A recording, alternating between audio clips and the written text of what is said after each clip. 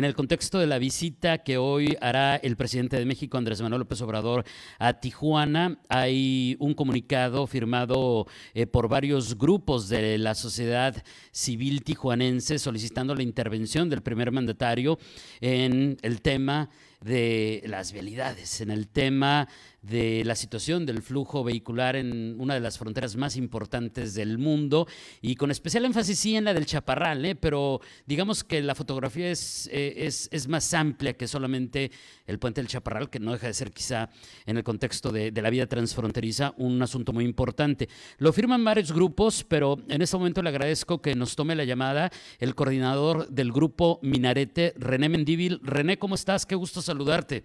Al contrario, David, muy buenos días. Muchas gracias por recibir esta llamada y sobre todo tener la oportunidad de saludarte a ti y a tu muy amplio auditorio.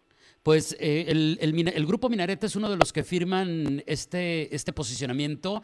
Eh, platícanos de, de, en qué consiste el posicionamiento y quiénes lo firman además de Minarete. Bueno, sí es importante puntualizar, es una expresión que suscriben distintos grupos de la sociedad organizada aquí en la ciudad de Tijuana, Unidos por Tijuana, Grupo 21, Foro Cívico Tijuanense, la Academia de Historia, Mujeres Profesionistas de, de México, negocios, y evidentemente hay puntos de coincidencia que, aprovechando la visita que está anunciada para el día de hoy del presidente de la República, pues coincidimos en la necesidad de expresarlo. Y bien es cierto, entendemos que puede haber muchos temas de interés, de preocupación de la ciudad de Tijuana, y más con los acontecimientos recientes que hemos tenido con las inclemencias del, tiempo, sentimos muy en especial que el puente Chaparral, al ser más que la entrada de nuestra ciudad, sino es la puerta de entrada a nuestro país, y es el acceso internacional vehicular que proviene de nuestro vecino país, es dada que la propia autoridad ha reconocido, la autoridad local, que es competencia del gobierno federal la reparación de dicho puente y tiene prácticamente 40 días o más de 40 días ya cerrado este esta vía de acceso, pues sentimos la necesidad de expresarle desde un punto de vista ciudadano al presidente el interés de estos grupos para que con su voluntad, con el interés y con los recursos del gobierno de la República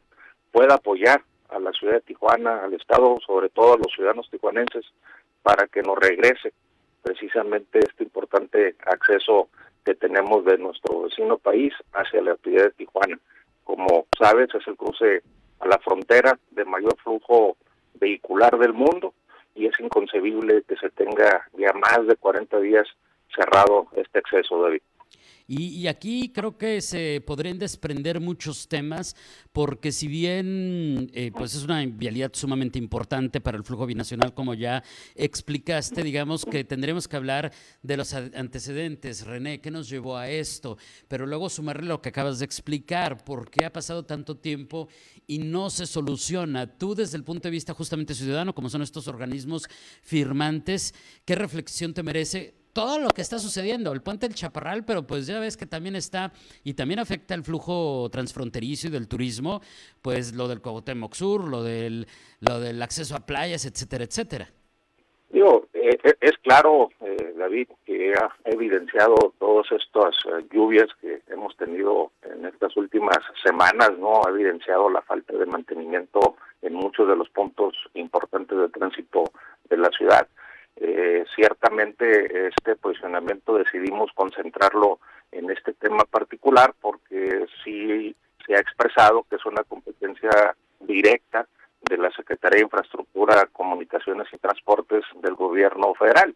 Y en consecuencia lo que solicitamos del presidente es su apoyo, es su compromiso por, por el Estado, por la ciudad de Tijuana y que apoye con los recursos suficientes para la reparación este puente El Chaparral, sin que esto nos eh, dejemos de reconocer también que hay otras vialidades muy importantes de la ciudad, señalamos también como ejemplo eh, la de Playas de Tijuana, que de igual forma es una vía no nomás para los ciudadanos que residen en ese punto de nuestra ciudad, sino todos los visitantes que recorren nuestras carreteras, recorren nuestra baja y que se les está limitando también el acceso importante que eso es una derrama que estará viendo afectada, una derrama económica que se está, estará viendo afectada seguramente también en la región, David.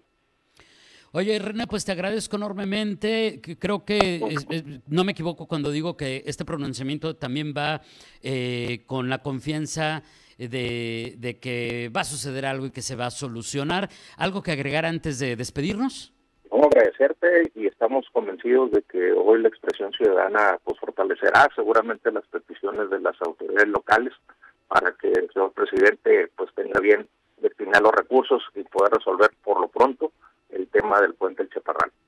René, muchísimas gracias. Muy buenos días. Al contrario, David, buen día.